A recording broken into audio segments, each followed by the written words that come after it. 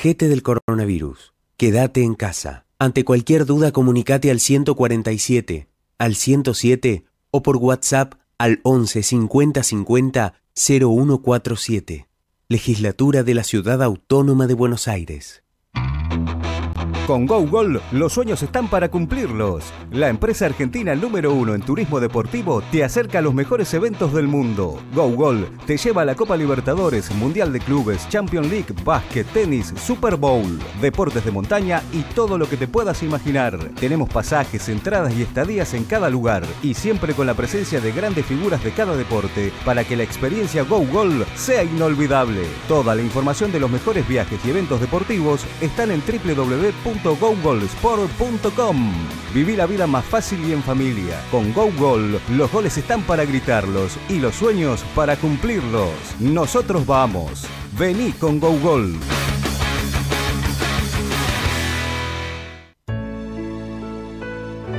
En Casa, la empresa argentina número uno de internación domiciliaria, desde hace casi 30 años cuida de niños y adultos con enfermedades crónicas y agudas en la calidez del hogar, con un plantel de más de 600 profesionales de distintas disciplinas. Nuestro sitio web internaciondomiciliaria.org. En Casa, siempre junto a la familia.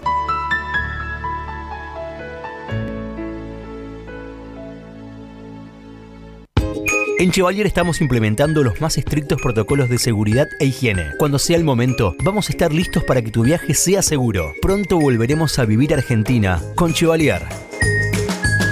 El plan Detectar está llegando a cada barrio de la ciudad. Identificamos a los contactos estrechos de cada caso confirmado y les hacemos un seguimiento diario. Así, estamos anticipándonos y cortando la cadena de contagio. Cuidarte es cuidarnos. Buenos Aires Ciudad.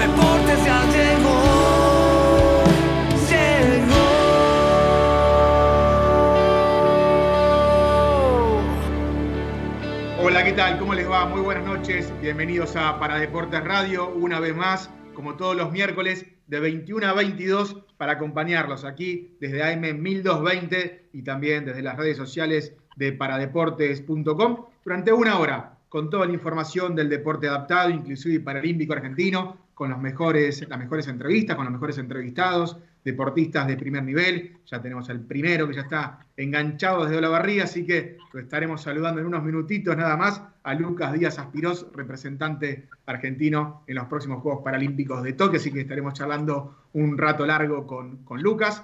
Y bueno, con mucha información, con mucha actualidad, eh, y bueno, queriendo compartir con cada uno de ustedes este clásico en esta quinta temporada de Paradeportes Radio. ¿Sí? con muchísimas, muchísimos datos, con Joaquín Finat, con Nicolás Carrizo, con Damián Schneiderman. Así que quiero presentar a todo este gran equipo de trabajo, a mis amigos. Mi nombre es Maxi Nobili y saludo a Joaquín Finat, que hoy, hoy nos abandonó, la imagen nos abandonó, así que lo estaremos escuchando. Joaco, ¿cómo estás? Muy buenas noches. ¿Qué tal chicos, amigos? Buenas noches, ¿cómo andan? Acá con unas dificultades con internet, pero acá presente. Bueno, bueno, muy bien. Ahí la semana pasada Joaquín estuvo con la cámara, así que nos hemos ilusionado para verte de nuevo, pero bueno, la próxima vez será. Así que ahí en esa... En, esa muy bien, muy bien. Bueno, Joaco, ¿cómo estás? ¿Qué novedades tenemos? ¿Tiene algún título que tengas?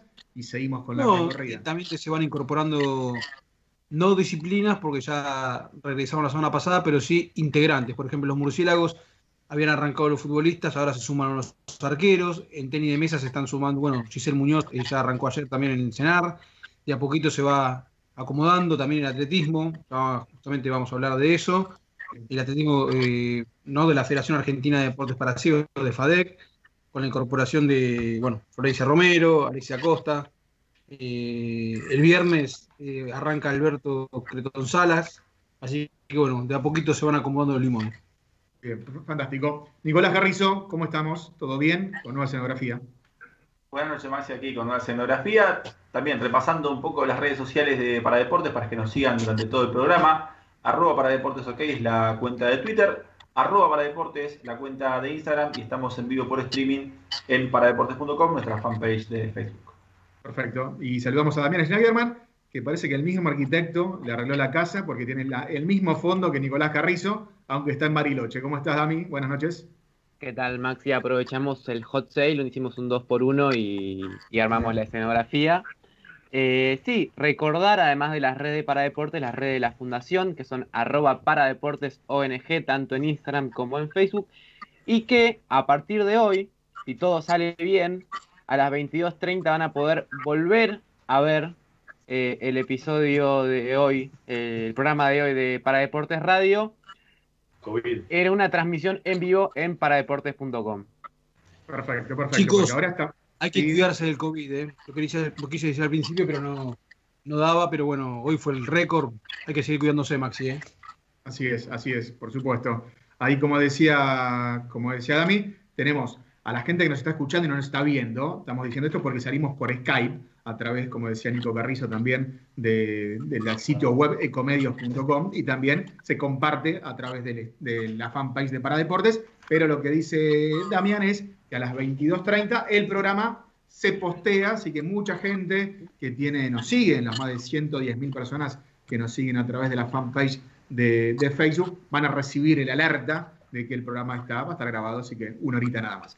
Bueno, tenemos mucha información, tenemos muchos invitados, 21 a 10 de la noche, tenemos tiempo hasta las, hasta las 22 y tenemos allí a Lucas Díaz Aspiró con un fondo muy hogareño desde la localidad de Olavarría, nuestro representante eh, argentino en paracanotaje, él compitió en Río 2016, ya está clasificado para Tokio 2020, hace unos días nomás comenzó sus entrenamientos, así que bueno, queremos hablar con él. ¿Saben cuándo fue la última charla que tuvimos con Lucas? Haciendo un poquito de repaso de archivo y todo lo demás, fue en la semana del 15 de marzo. Así que hablamos con él y a los pocos días ¿sí? comenzó el, aislamiento y la cuarentena obligatoria. Y bueno, y nos había dejado un par de títulos en aquel momento porque todavía no se veía venir todo esto que ocurrió. Ninguno de nosotros imaginábamos que iba Lucas en este caso iba a tardar cuatro meses en volver, en volver a entrenar. Lucas, ¿cómo estás? Muy buenas noches. Bienvenido una vez más a Para Deportes Radio. Y bueno, desde aquella nota de mediados de marzo hasta ahora, mediados de agosto. Bueno, ¿cómo fue tu vida deportiva? ¿Qué hiciste para mantenerte en forma y volver a estar en contacto con el agua como lo hiciste hace muy poquitos días? ¿Cómo estás? Bueno, ¿cómo les va? Hola Maxi, Nico, Damián, Paco. Eh, bien, bien. Eh, el fondo sí, traté de acomodarlo más o menos, pero para, que no se vea tan mal. Está muy bien ahí en la cocina. está bien, tranqui, la cocina, se ve bien. Es, real, no como el de Nicolás Carrizo o Damián. Claro, porque tenemos la cocina presente. No, bueno, después de estos cuatro meses, la verdad que fueron difíciles. Eh, en, mi, en mi, caso en particular fueron cuatro meses que, realmente lo, lo, lo, sentí mucho. eh, desde muchos aspectos, o sea, en lo físico, en lo mental también. Eh, la verdad que fue eh, uno sin darse cuenta se va metiendo cada vez más adentro, o sea, teníamos que guardarnos, pero también mentalmente, ¿no? O sea, yo vivo acá en la Lavardía, mis viejos viven a 15 kilómetros de acá, cuando cerró todo, que, que pasamos toda fase 1, no, no, no se podía hacer nada, qué sé yo, agarré y decidí irme para la casa de ellos, digo, para no estar solo acá, en el departamento, en mi departamento, digo, si no iba a poder salir, me voy para allá, ¿no?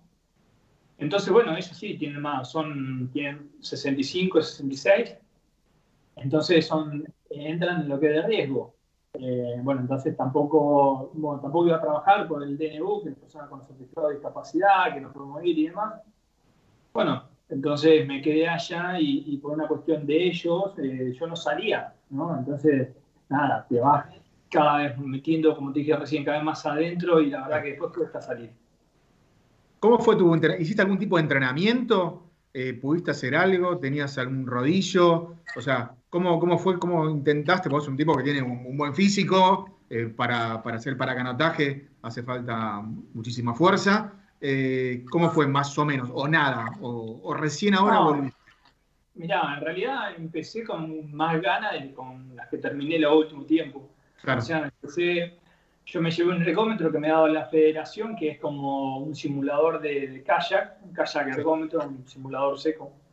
Eh, entonces, bueno, podía ir a hacer ahí quizá la rutina, el movimiento, pero igual, no, no es lo mismo. O sea, eh, estás en un lugar fijo, eh, una de las, bueno, las dificultades que tiene mi categoría, el kayak en general, es la estabilidad. Entonces, eso vos no, no lo sentís en el, en el ergómetro. Entonces, bueno, nada, se sintió de ese lado. Y con respecto, bueno, después, nada, un poco de movimiento, así en el piso, con algunas pesas que tenía, que me habían prestado y demás. Así que, pero bueno, no, fue muy, muy poco a lo que venía haciendo. Y hablabas de la parte mental. Estamos hablando con Lucas Díaz Aspirós, representante argentino de paracanotaje, compitió en Río 2016 y va a estar en Tokio, es uno de los ya clasificados para Tokio 2021, ¿no? Vamos a decir ya 2021. Eh, y estamos hablando con él desde Olavarría, su ciudad natal. Eh, hablabas también de la parte mental. ¿Trabajaste con un psicólogo? ¿Cómo, o, sol- o solo lo fuiste, trataste de focalizar para mantener la energía? Soy, eh, lo tengo que decir porque nobleza obliga, soy nacido en General La Madrid, a 110 Bien. kilómetros de acá. Muy bien. Vivo en, en Olavarría hace muchos años, ya, ya es mi ciudad, Olavarría, pero nací allá. Eh, bien. no, eh, sí tuve alguna, con respecto, o sea, terapia, eh, yo suelo ir a, a terapia, eh, pero mm, básicamente eh, esta vez, eh, en lo que fueron estos cuatro meses, hice muy poco y tampoco eh, me pude descargar, es como que no, no entendía lo que pasaba, porque era, a ver, era, está todo mal, pero está todo bien. O sea, era una cuestión de, viste, no entender, porque estabas adentro, te estabas cuidando, pero era todo rara la- la- la situación que estábamos viviendo. Obviamente yo creo que esto le debe haber pasado a muchas personas, pero bueno, a mí en particular me pasó eso, era como que estaba todo bien, pero todo raro, ¿viste? O sea, era, no sé, y era, era difícil poder encontrar eh, la, la motivación, era, fue difícil, ¿viste? Fue, fue complicado. Esa parte eh, la, la- la sentí mucho cada tanto hablaba con Alejandro, con el entrenador, ¿viste? yo le comentaba lo que me estaba pasando, más o menos. Y bueno, y él cada tanto me llamaba para hablar un poco, y yo hacía, hacía catarse con él, eh, le contaba lo que me pasaba, porque es una cuestión de que uno eh, quiere, quiere estar, representar al país y demás, pero bueno, era una situación muy complicada. O sea, bueno, a ver, ahora tenemos más libertad, pero... no. Joaquín Finat te va a hacer una consulta, Lucas. Dale. ¿Qué tal, Lucas? Buenas noches. Bueno, la pregunta va en consonancia con lo que te dijo Maxi. ¿Vos sabés cómo la realidad, la realidad de tus rivales, de tus posibles rivales en Tokio? Si ellos están trabajando más, están trabajando menos que vos. ¿Hay forma de, no sé, de seguir eh, a tus posibles rivales?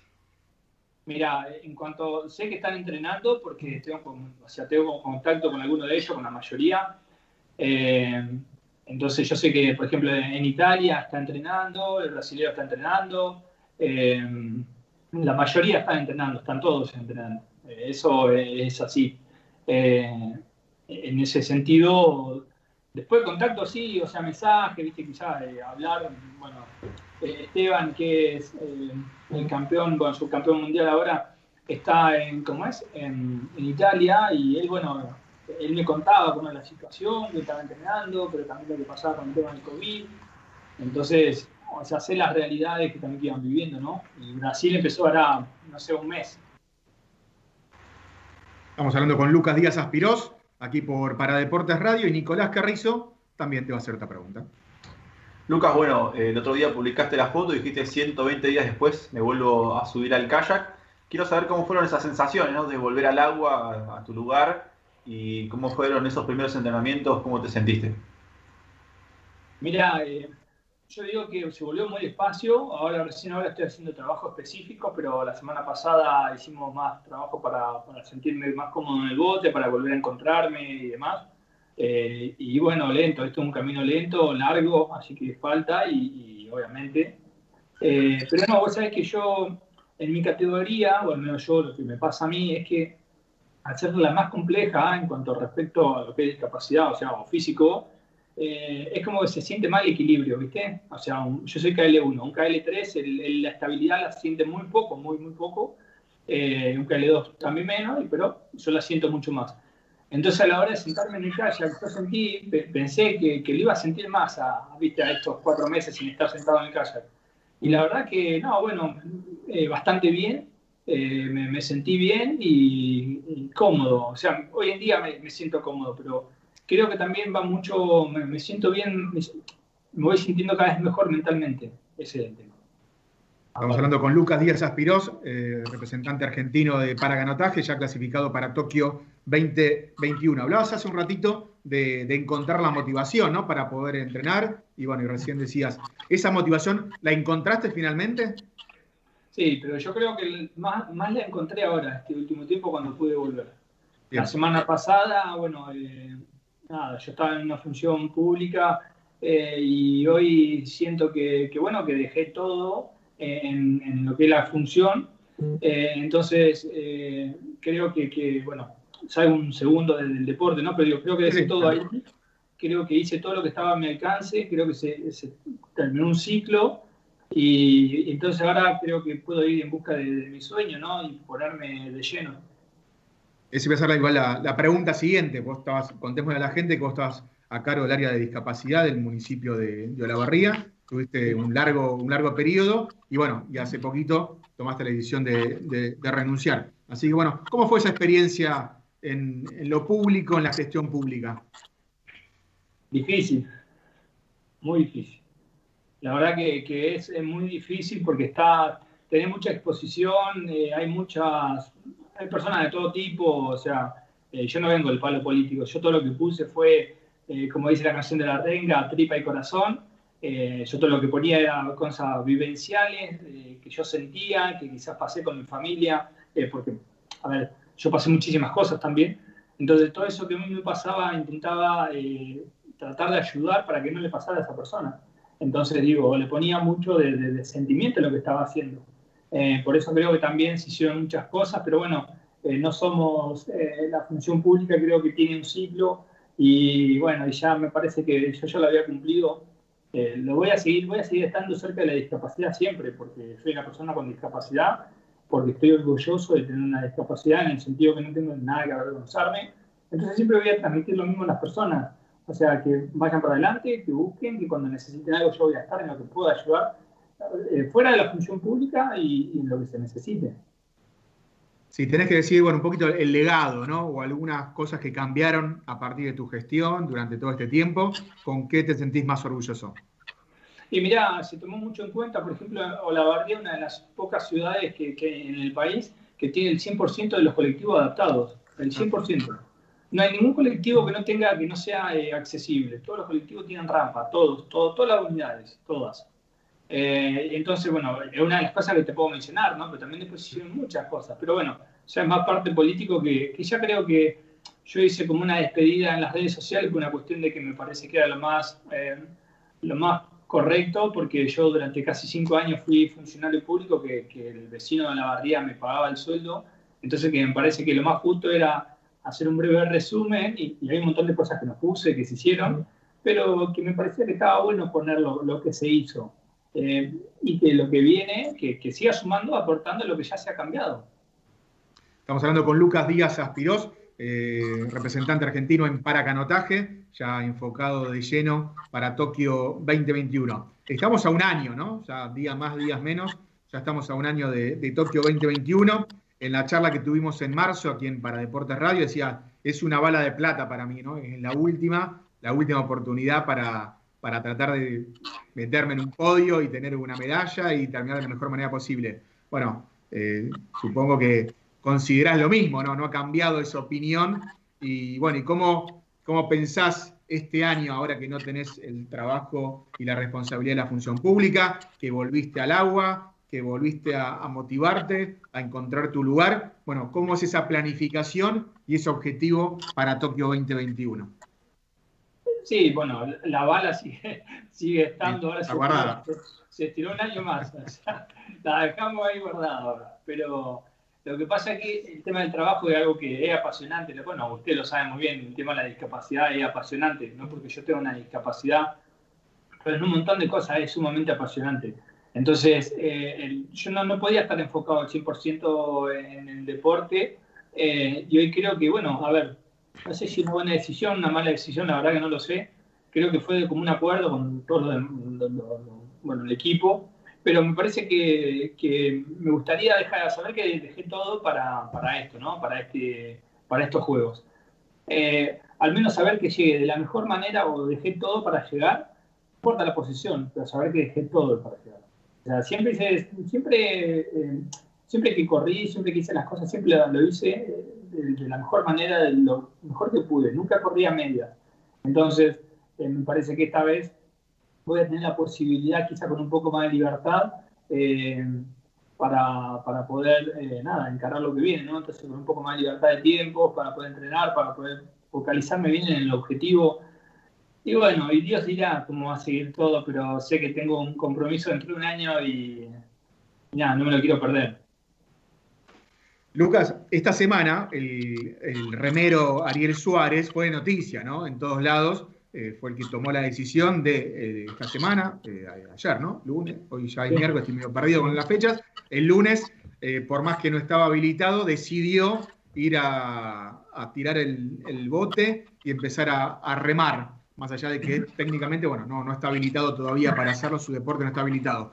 ¿Cómo viviste el tema, teniendo en cuenta que, bueno, son deportes eh, primos hermanos, llamémoslo de alguna forma. ¿Tuviste cerca? ¿Seguiste el tema de cerca? ¿Qué opinión te merece la decisión de, de Ariel Suárez? Primos hermanos, pero que hay, pero como todos primos hermanos no se quieren mucho. sí, no sé por qué tengo el canotaje, pero pasa esa. Está ese La pica. Sí. Eh, no, mirá, yo lo que vi lo vi por las redes sociales, ¿viste? Lo que pasa es que tiene dos lecturas, o sea, en una, en una, perdón. Ya, ahí está eh, en una, entiendo de lectura, en una, eh, a ver, yo no, no, encuentro, pero bueno, no soy un, un, un eximio, eh, no sé, profesional de la salud que puedo saber sobre eh, los contagios, los riesgos y demás. Entonces, por ese lado, yo no sé, pero yo no veo mucho riesgo con respecto a que él pueda remar. Eh, es un deporte solitario, un deporte individual. Él, lo puede, él puede bajar las cosas, puede subir, puede tener, tomar los, los recaudos lo que pasa que la otra mirada es que también, bueno, a ver, hay una ley y que no podemos corromperla porque lamentablemente si no es como que cada uno hace lo que quiere. Pero yo, bueno, a ver, como deportista tengo que decir que eh, yo, y conociendo más, más o menos el tema, porque como decís vos, son primos hermanos de, de las disciplinas, eh, no, no, sé cuál es el riesgo que puede tener. Y realmente es muy frustrante tener que, que exponerte de esa manera, eh, ¿viste? De, de, tener que, que, que no, no, no, sé si viralizar, pero salir en todos los medios como, una, como algo de protesta, cuando en realidad ver, creo que hay que cuidarlo los deportistas, pero bueno, no sé. No, no sé. Bueno, ¿cómo vos con tus papás estuviste, eh, al final estuviste con ellos o no? Me quedó esa duda. Sí, ¿Fuiste? Sí, me quedé, no, no, me quedé como tres meses allá, no, estaba, estaba menos, y no salía, nada, nada, nada. ¿Cómo fue esa convivencia con, con los padres? No, no, no, no, esos son, a ver, son excelentes, son geniales, a ver, es, es así, lo que pasa es que, bueno, yo extrañaba mi lugar, mis cosas, eh, pero no quería venir a estar encerrado, yo no, no sirvo para estar encerrado. Yo me levantaba a las 7 de la mañana y hasta la noche yo no vuelvo, pasaba el mediodía, me hacía la comida, almorzaba y seguía, y volvía a la noche. Entonces, de, de pasar de eso a estar encerrado, no, no puedo, no, no, no podía. Nicolás Carrizo te va a hacer otra pregunta. Lucas, bueno, en Río tuviste tu primera experiencia paralímpica y bueno, eh, Tokio va a ser la segunda. Eh, quiero saber qué aprendizajes eh, tuviste en Río y a lo largo de este ciclo que va a terminar el año que viene eh, para lo que van a ser tus segundos juegos. Mirá, yo, yo decía que Río eh, eh, no era un sueño, era un objetivo.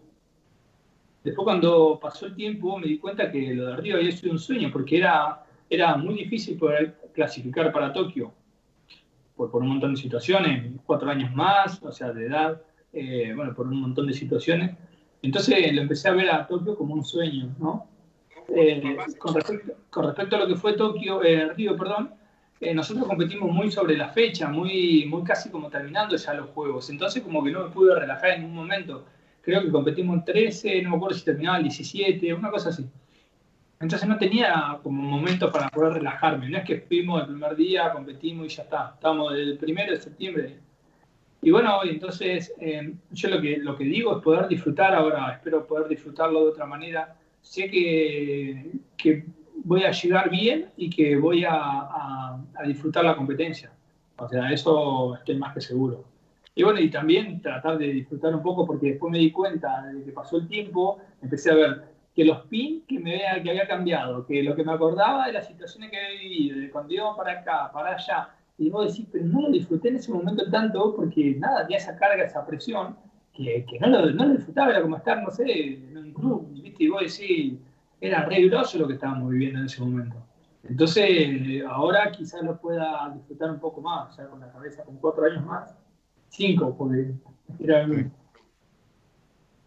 Estamos hablando con Lucas Díaz Aspirós, representante argentino en paracanotaje, ya hablando de lo que va a ser Tokio 2021. Ya para, para ir cerrando, eh, ¿qué, el calendario internacional, ¿hay alguna fecha, algo puntual? ¿Ya tenés algo? ¿Qué se sabe? Entiendo que este año no, pero No. para el año que viene. No, para, para este año estaba programado ahora en mayo, estaba el. Mundial en Alemania, porque hubo, o sea, en Hungría el año pasado solamente seis plazas se disputaron por categoría, que una de esas fue la que conseguimos nosotros, y cuatro plazas que quedan, porque son diez, eh, se, se disputaban ahora en, en mayo en Alemania. Ahora eh, calculo que, bueno, se habrá pasado todo para el año que viene, calculo, imagino, que lo que no tengo, no estoy seguro, no sé bien el tema del sudamericano, dónde va a ser, cuándo, no tengo idea. Pero creo que todo se pasó para él ya para el año que viene. De tus compañeros, ¿tuviste contacto con tus compañeros de, equipo? Aquellos que también están intentando tener una plaza. ¿Cómo fue ese, ese ida y vuelta este tiempo? No, no, sí, cada tanto nos mandamos un mensaje para ver cómo están, a ver cómo están llevando, pero no muy fluido, o sea, ¿viste? para ver cómo andamos. O sea, cómo están. Eh, bueno, Alejandro a veces eh, también hizo algunas reuniones por Zoom para charlar un poco, para ver cómo estamos. Eh, y entonces más o menos ahí era, porque yo digo que teníamos tanto tiempo que no nos alcanzaba para hacer nada, en la locura. O sea, había tanto tiempo que, que no teníamos tiempo para, para responder mensajes. Vos decís, pero escuchame, estoy todo el día y puedo responderlo. ¿Por qué no respondo enseguida? O sea, ya que yo soy colgado, pero eh, sumado a eso, de que pasaba esto, de vos decís, pero ¿por qué no respondo? Tengo tanto tiempo. Y bueno, y pasaba el tiempo, ¿viste? Entonces, nada. Pero sí, nos, tuvimos, no, no hemos escrito, no, no todos los días, pero cada tanto no, no hemos escrito. Lucas, queremos agradecerte este contacto con Paradeportes, ahora con este formato cada uno de nuestras casas y poder vernos las caras también, vos allí desde Olavarría. Así que bueno, agradecerte esta charla de más de 20 minutos que tuviste con nosotros. Nos pone muy contentos saber que volviste al agua, que bueno, ya pasaste esta cuarentena de más de 120 días sin poder entrenar y bueno, desearte por supuesto lo mejor para vos, porque lo bueno para vos también es para el deporte paralímpico argentino en este largo recorrido que queda para Tokio 2021. Así que agradecerte una vez más este contacto con Paradeportes. Pues nada, agradecerle a ustedes por, por la invitación, por el llamado. eh, y nada, siempre digo que está bueno y agradecer el tema de que siempre están, eh, ¿cómo es? Eh, difundiendo todo lo que es el deporte paralímpico, como cada persona que, que te escribe para así sea una nota pequeña, lo que sea, difundir el deporte paralímpico, realmente eso nos, nos enorgullece y nos ayuda mucho. Entonces está bueno poder mostrarlo desde otro lugar, ¿no? Desde lo que realmente es un deporte sacrificado que todos pasamos Y, y bueno, nada, agradecerles por eso. Bueno, Lucas, muchísimas gracias por este contacto y por supuesto seguimos en contacto, seguir publicando, seguir etiquetándonos, arrobando, porque eso también es, es la mejor manera de, de, tenerte cerca en el radar y bueno, y a partir de para deportes, hacer nuestro aporte para que tanto vos como todo el equipo de paracanotaje, también todo, todo el mundo y toda la Argentina y toda la gente que nos sigue pueda, pueda ver tu trabajo y bueno, ojalá que Tokio 2021 también nos encuentre allá. Está bueno, está bueno poder esto de difundirlo los deportes porque hay muchas personas que quizás no conocen la disciplina y también se pueden enganchar de una manera que no, que quizás no sea deportiva, pero sí de recreación, porque no solamente todo competencia. Capaz que no de competencia, pero sí de recreación. Por eso, nada, te agradezco de nuevo, les agradezco a ustedes. Bueno, por favor. Lucas, muchas gracias y te mandamos un fuerte abrazo. Saludos a todos, un abrazo. Abrazo grande, muchas gracias. Pasó Lucas Díaz Aspirós eh, representante argentino de paracanotaje, ¿sí? unos máximos referentes de este deporte, que, corregime Nicolás, en el 2016 fue la primera vez que hubo paracanotaje a nivel paralímpico, ¿verdad? Y bueno, y ahora sigue con Tokio 2021, más que importante que Argentina tenga un representante allí. Eh, Lucas sacó diploma paralímpico, ¿verdad? Sí, sí, sí, fue finalista de la final A. Así es. Bueno, eh, buena nota con, con, Lucas Díaz Aspirós, queríamos charlar con él y aparte, bueno, justo, ¿no? Esta coincidencia que es la última nota eh, en la radio la habíamos tenido en marzo, justo antes del comienzo de la, de la cuarentena y hace muy poquitos días él volvió a, a entrenarse. Vamos al primer corte de Para Deportes Radio, 21 a 33, aquí para Deportes Radio, el único medio de comunicación de la República Argentina dedicado a todo el deporte para personas con discapacidad. Nos pueden seguir también en paradeportes.com, en todas las redes sociales. Estamos, bueno, por ecomedios.com, aquellos que nos escuchan por AM1220, también nos pueden ver eh, a través de la fanpage de Paradeportes. Así que estamos en todos lados con todos los deportes y mucho más en este momento donde poco a poco todos los deportistas paralímpicos argentinos y aquellos que tienen la chance de poder clasificarse para Tokio 2021 empezaron con sus entrenamientos ¿sí? para tener la mayor delegación argentina posible en los Juegos Paralímpicos del año que viene. Vamos al primer corte de Paradeportes y seguimos con mucha más información y con una nota muy, muy importante también. Ecomedios.com AM1220. Estamos con vos. Estamos en vos. Si sos monotributista o autónomo, queremos decirte que no estás solo, que lanzamos créditos a tasa 0% para quienes vieron afectada su facturación por la pandemia, una medida acorde a este momento tan particular, porque queremos que sepas que contás con el Estado y que la postura siempre será la de acompañar. Podés solicitar tu crédito a tasa cero y empezar a pagar la cuota recién seis meses después. Entra a la página de la FIP con tu clave fiscal. Argentina Unida. Argentina Presidencia. Podés vernos en vivo en ecomedios.com. Ecomedios.com. Contenidos audiovisuales. Conectate con nosotros. Línea directa 4-325-1220. Protegete del coronavirus. Quédate en casa. Ante cualquier duda, comunicate al 147, al 107 o por WhatsApp al 11 50 50 0147. Legislatura de la Ciudad Autónoma de Buenos Aires.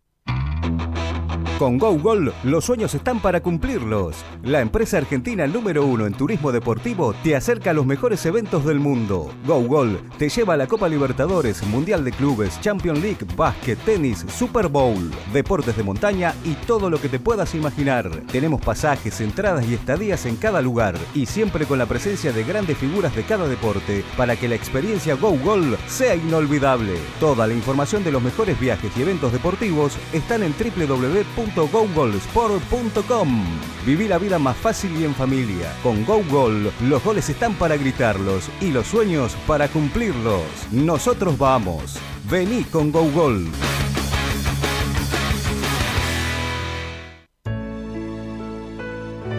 En Casa, la empresa argentina número uno de internación domiciliaria, desde hace casi 30 años cuida de niños y adultos con enfermedades crónicas y agudas en la calidez del hogar, con un plantel de más de 600 profesionales de distintas disciplinas. Nuestro sitio web internaciondomiciliaria.org. En Casa, siempre junto a la familia.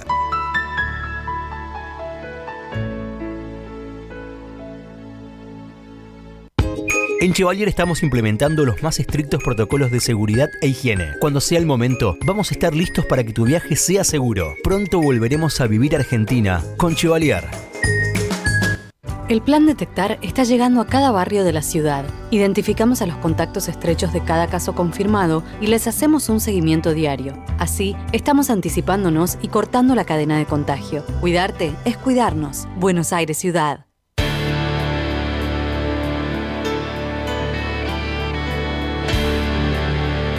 En Para Deportes Radio, el programa del deporte adaptado inclusive paralímpico argentino, mandarle un saludo a Alex Canas, que es el autor eh, de la música y de la letra de nuestra cortina, que la verdad que es hermosa, jugador de fútbol 5 para ciegos de- de- del equipo de Huracán. Así que Alex, como siempre, nuestro agradecimiento. Me encanta la, canción de, de Para Deportes. Arrancamos el programa súper motivados. Bueno, también el saludo a, la operadora, Javier Martínez, le mandamos un fuerte abrazo, gracias Javier. También a Gerardo Subirana, sí, que se está recuperando, así que a Gerardo un abrazo grande. A Carlos Lugano, también permanentemente nuestro compañero de Paradeportes y de la Fundación Paradeportes, que nos sigue todo el tiempo, y a la gente de GoGol, a Mariano Morazani, a la gente de En Casa, Facundo, Facundo y Felicita Sadaro, a gente de Chevalier, Mauro Lagusta, así que a todos ellos el agradecimiento por acompañarnos aquí en Paradeportes. Bueno, hablamos hace un ratito con Lucas Díaz Aspiró, que es representante eh, paralímpico argentino, que estuvo en, en Río y va a estar también en Tokio 2021 tenemos mucha información y ya tenemos, allí está sentada, muy elegante, cruzada de piernas, otra deportista de elite del deporte argentino, ella lanzadora de disco y lanzadora de bala de la categoría F11 para personas ciegas, que tuvo un gran desempeño en Lima, en los Juegos para, para Panamericanos de Lima, medalla plateada, el lanzamiento de bala, medalla de bronce,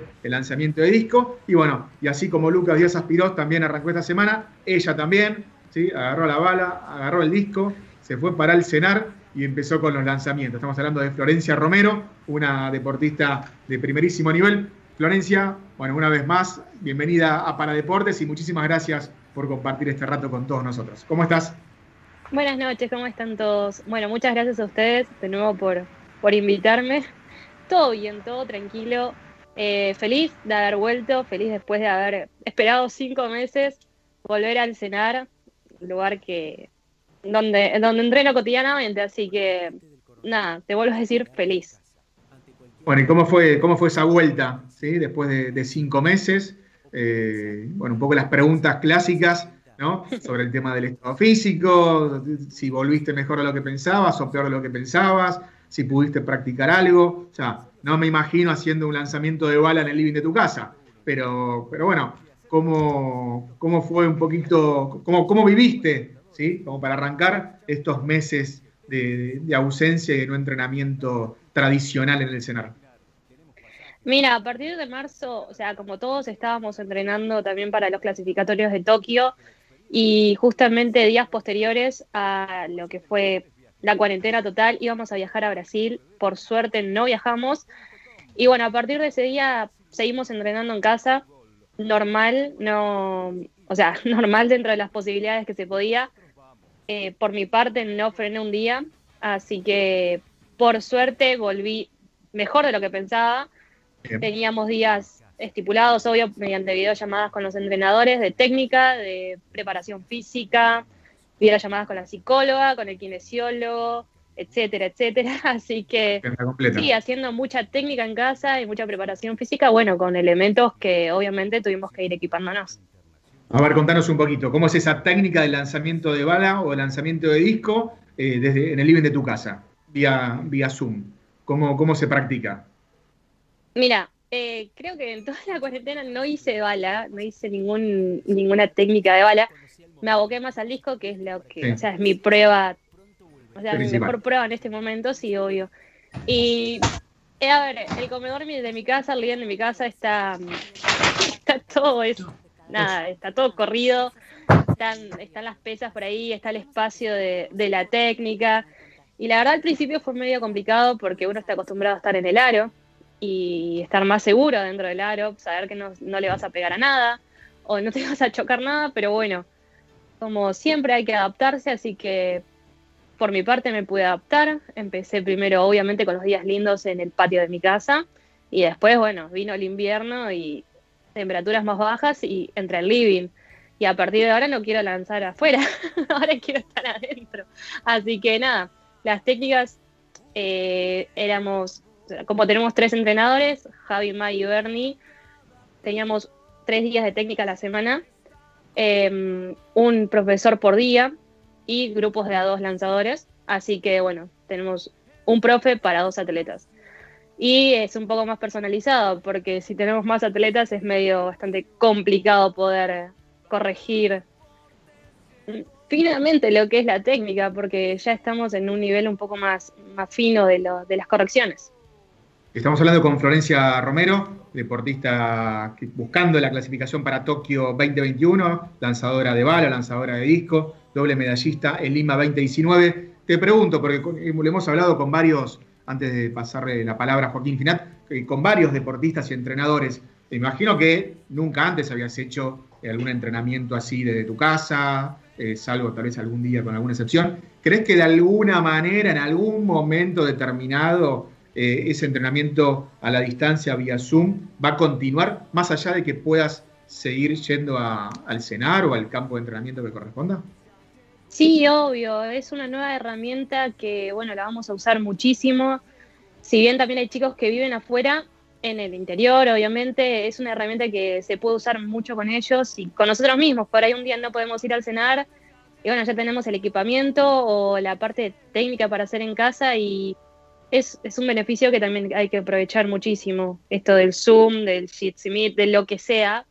Ya tengo todas las aplicaciones, así que nada, hay que aprovecharlo y a futuro, obviamente, seguir incursionando en eso. Igualmente, hoy por hoy seguimos entrenando vía Zoom para la preparación física, porque bueno, a los gimnasios no podemos ingresar. Claro. Joaquín Finat te va a hacer una pregunta, Flor. Hola, Flor, buenas noches, ¿cómo te va? No, quería que nos cuentes cómo fue el protocolo, cómo se preparó el cenar para recibir, si vos tenés que ir vestida ya con la ropa deportiva, si puedes utilizarlo bien. Eh, mira, tenemos un, bueno, tenemos que salir de casa obviamente con un familiar, Em, después, al llegar al cenar, tenemos el entrenador, que, bueno, en nuestro caso, el entrenador siempre tiene que ser el mismo, no se puede cambiar, o sea, siempre es la misma dupla. Y una vez ingresada al cenar, eh, te toman la temperatura, te piden el permiso, y el entrenador te guía hasta la pista, en mi caso, obviamente sin ningún contacto y siempre con distanciamiento, con el barbijo, pero bueno, con el tema de la ropa no hay problema con, con ningún tipo. Eso sí, alcohol, alcohol, alcohol en gel, alcohol como sea, pero siempre desinfectando, en mi caso, los discos y, como te digo, sin tener contacto con el entrenador. Por suerte, tanto el lunes como hoy, eh, no tuvimos, o sea, estábamos solos directamente en la pista, así que el distanciamiento se cumplió, así que estábamos más tranquilos también. O sea, el entrenador en tu caso, bueno, no te puede hacer, si quiere hacer alguna corrección técnica tocarte el hombro, eh, tocarte el brazo, eso no lo puedo hacer. No, no, no, es más, o sea, estábamos acostumbrados a eso y a que también nos pasaran los discos en la mano si lo, si lo habíamos perdido. Pero bueno, ahora en este caso no, nos tienen solamente que reunir los discos y nosotros juntarlos. Y con el tema de las correcciones, bueno, eh, las videollamadas fueron de, gran ayuda porque ahora nos entendemos solamente con la palabra también. Claro, bien. Eh, Nico Carrizo te va a hacer una pregunta, Florencia. Luego recién hablamos con Lucas Díaz de Paracanotaje y hablamos del tema motivación durante toda esta etapa en la que no pudieron entrenarse donde, donde suelen hacerlo. Eh, quiero saber cómo trabajaste esto vos, ¿no? Todo este tiempo para mantenerte motivada y entrenar, como dijiste vos, todos los días. Mira, yo, o sea, siempre me preguntan esto, ¿no? ¿Qué pasó el día que te enteraste que Tokio se suspendía por un año, se posponía? Yo fui como cinco segundos que pensé, eh, uy, qué mal, pero bueno, después de los cinco segundos se me pasaron y dije, listo, lo tomo para mi beneficio personal y este año le voy a meter el triple de lo que le venía metiendo, que era un montón, pero bueno, si se puede meter más, obvio, y bueno, buscar esa clasificación más, con más confianza y con más conciencia. Y bueno, esta cuarentena, con la ayuda obviamente de la psicóloga, eh, fue muy beneficiosa en ese sentido de de tener mucha más conciencia en lo que es el entrenamiento, tanto de preparación física como técnico, como mental o como de recuperación. Eh, la verdad que mm, nada, yo fui el lunes a la pista y en otro momento de mi vida hubiese estado sumamente enloquecida o emocionada o lo que sea. En este caso sí, obvio, estaba emocionada, alegre, muy feliz, pero bueno, lo pude controlar y eso es gracias también a todo el trabajo de psicología que hubo en esta, toda en esta cuarentena. Entonces podemos decir que esta postergación eh, te benefició de alguna manera, lo supiste capitalizar y te benefició. Sí, totalmente. Y bueno, nada, la semana pasada le contaba a uno de mis entrenadores que vi a bueno, una competidora italiana que ponía, bueno, el sábado volvemos a competir. Y yo como, bueno, el lunes yo empiezo a entrenar. Mirá la diferencia, pero, pero bueno, eso no me va a detener a, a querer ir y ganarle. ¿Eso te va a dar más fuerza? ¿Te motiva más? Sí, sí, sí, me pincharon. No, no, no, la verdad que me motiva muchísimo más. Bien. ¿Y crees que este, está, estás, estás lista para Tokio, que esa clasificación está cerca? Eh, de acuerdo, bueno, cuando sean los clasificatorios, ¿cuál es la, planificación que, que, tenés en mente? ¿Cómo calculas que puede llegar a ser todo? No, yo creo que sí, esa clasificación está cerca, pero yo siempre tengo, o sea, la mentalidad de que el trabajo tiene que ser duro y más duro si también está cerca y nunca, o sea, nunca decir, ah, bueno, está cerca, me relajo. No, para mí hay que trabajar mucho más y conseguirla y después de conseguirla, trabajar peor. O sea, es, es, es un tema que, que no puedo, que no puedo conmigo, así que nada, por más que esté lejos o cerca o como sea, el trabajo va a seguir siendo mucho más duro y, y bueno, el año que viene con los clasificatorios veremos. Estamos hablando con Florencia Romero, deportista atleta paralímpica argentina, lanzadora de disco de bala. Hablamos recién hace un ratito del tema de tu medalla plateada en, bala en Lima, el bronce en disco. Bueno, ¿qué, recuerdos hace un año, ¿no? De, estos juegos. Sí que estamos en agosto, así que estamos en fecha. Eh, ¿cuál, qué, recuerdo tenés de, de tu participación en Lima 2019? No, la verdad que, o sea, sí, está por cumplirse un año en estos días. La medalla de disco, bueno, era algo más esperado dentro de todo, por ahí con una marca un poco más aceptable o un poquito más lejos el disco.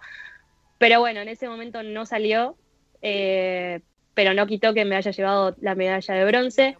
Y la de bala, me parece que entré con más, más bronca por no haber lanzado lejos el disco y eso sí fue inesperado. O sea, yo en esa por lo menos esperaba la de bronce y nada más, porque tengo una mexicana que es B12.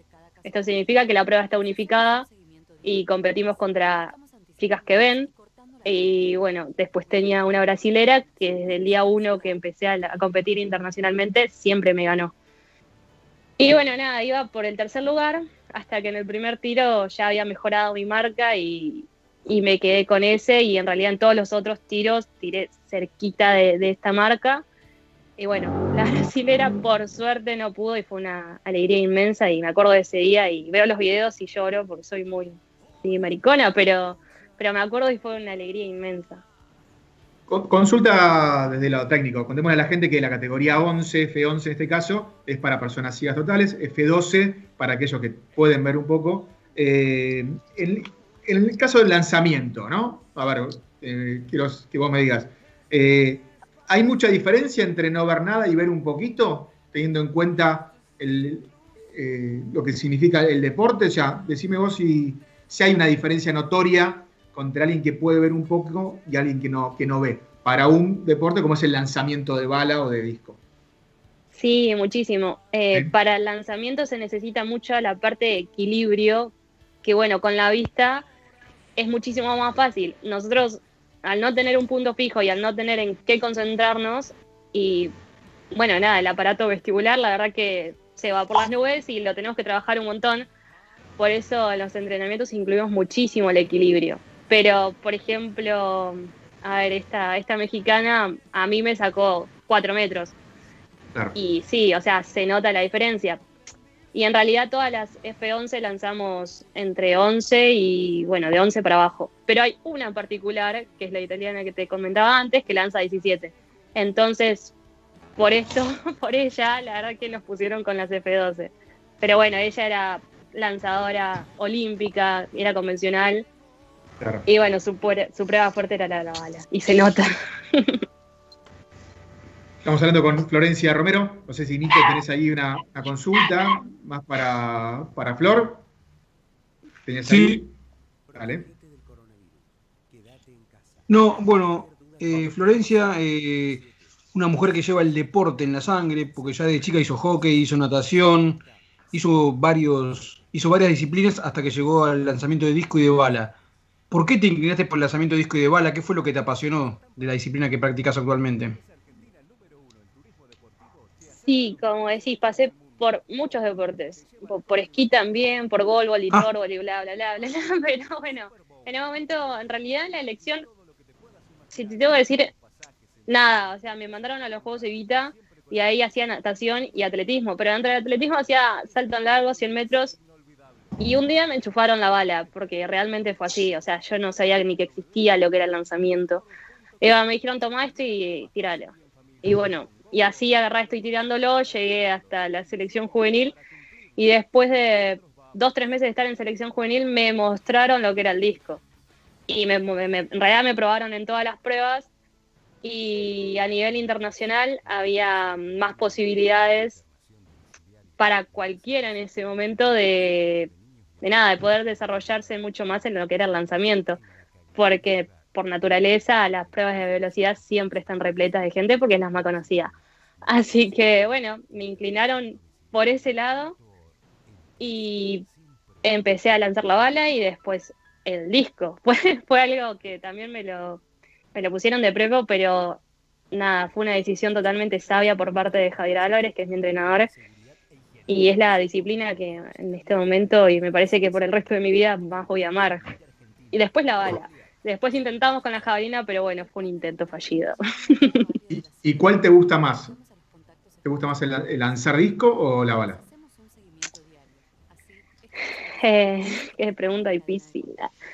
Paso. No, no sé, la verdad que me gustan las dos. Me gustan las dos por igual, pero bueno, sí, el disco primero. Después la bala. En el, en el disco me da la sensación de que uno saca, ¿no? Das- haces el giro y, y sacás desde adentro, pegás un grito, grito que tal vez con la bala cuesta un poquito más, ¿no? O sea, no, no, no. Bueno, a mí me pasa con la bala, ¿no? Como que te da más bronca y la puedes lanzar mejor porque es más manejable. El Bien. disco como que está más alejado del cuerpo, no se siente, entonces tenés que tener muchísima confianza en esa prueba. Pero bueno, es una confianza que cuando la tenés es realmente hermoso lanzar el disco. Cuando no la tenés y le pegás a la jaula y le pegás a la jaula todo el entrenamiento, no te gusta mucho el disco. Pero es algo normal. ¿Y cómo es el vínculo con el guía? Recordemos que en el caso de tu categoría F11, eh, los deportistas ciegos están con un guía, ¿no? Vos tenés a alguien que te acompaña, que te que ubica de alguna forma en el espacio reglamentario. ¿Cómo es ese, ese vínculo estrecho que tenés que tener con, con, con, con el guía en este caso? Mira, yo tengo, en realidad tengo cuatro guías, que es, bueno, Javi, mis tres entrenadores, ¿no? Javi, Mayo, Sí. Berni y Marco Seitz, que también es otro de mis entrenadores.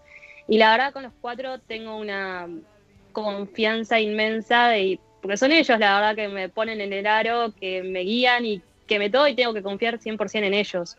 Pero es una relación, obviamente, muy, muy estrecha que, que, bueno, es depositar toda la confianza en un super torneo por ahí, eh, en ellos y en sus ojos y en nada más. Así que, nada, es es súper, súper, súper lindo eh, poner la confianza de, de uno en otra persona. Flor, te agradecemos muchísimo este contacto con, con Paradeportes Radio. Eh, nos quedan unos minutitos, ya dos, tres minutos para cerrar el programa, pero bueno, queríamos charlar con vos, que nos cuentes un poquito cómo había sido esta experiencia. La última charla pum, desde la radio la tuvimos el año pasado, eh, así que bueno, queríamos charlar con vos cómo había sido este retorno y la preparación para cumplir el sueño de Tokio 2021. Muchísimas gracias a ustedes, siempre como les digo, gracias por, por eh, hacer visible también el deporte paralímpico, que es algo muy difícil, como que la gente por ahí no, no toma al deportista paralímpico como tal, sino como es discapacitado, hace deporte por rehabilitarse nada más. Pero bueno, es lindo que ustedes lo puedan visibilizar de esa manera y, y darnos a conocer también, porque en estos momentos también es muy importante, así que gracias a ustedes.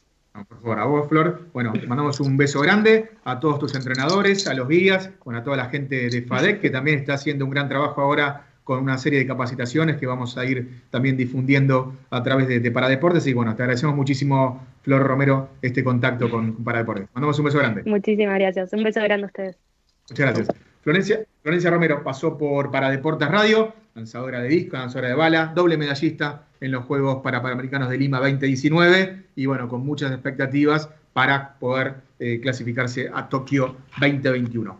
Nico, Juaco, Dami, ¿algún, algo que quede pendiente ahí de la nota o de otros temas? Tenemos Gustavo Fernández, Ni- Nico. Sí, sí, Dale. sí, bueno, este, como contamos hace un tiempo en el programa, eh, Gustavo Fernández viajó de Buenos Aires, donde comenzó la cuarentena, a Río Tercero, y estuvo entrenando dos, dos meses allí en, la- su ciudad natal.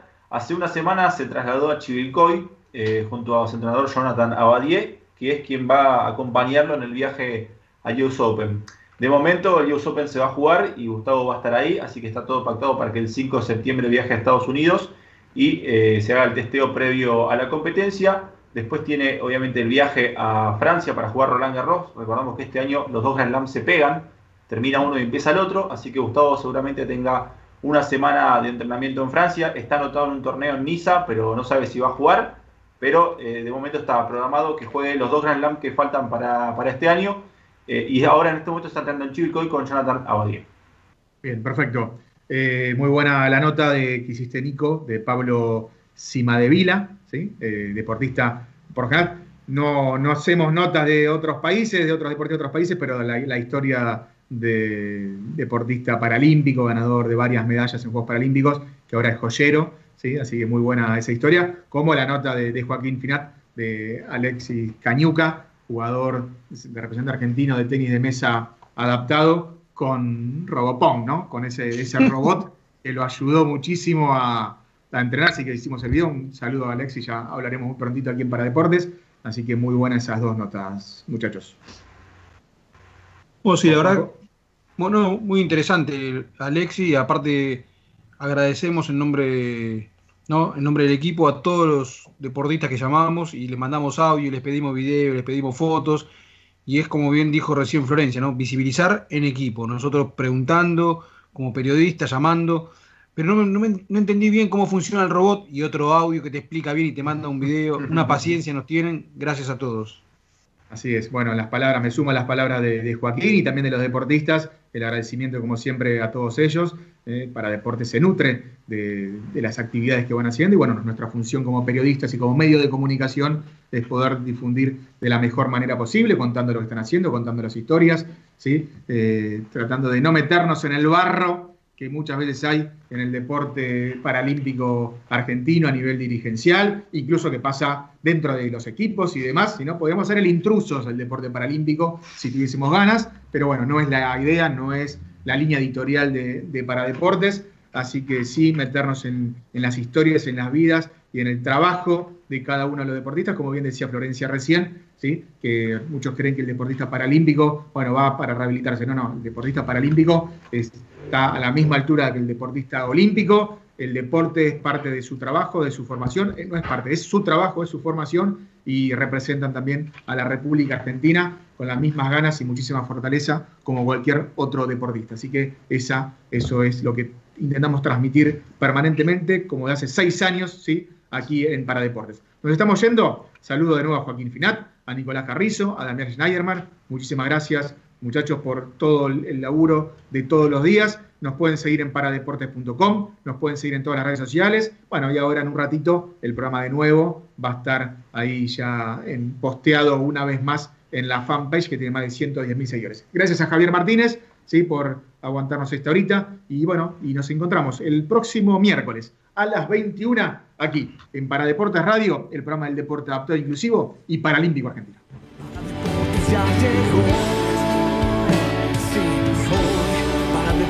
Ya llegó. Hoy para deportes ya llegó. Hoy para deportes ya llegó. Llegó.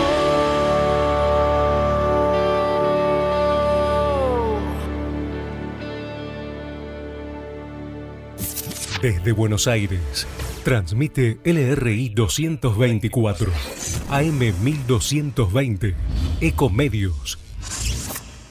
Ecomedios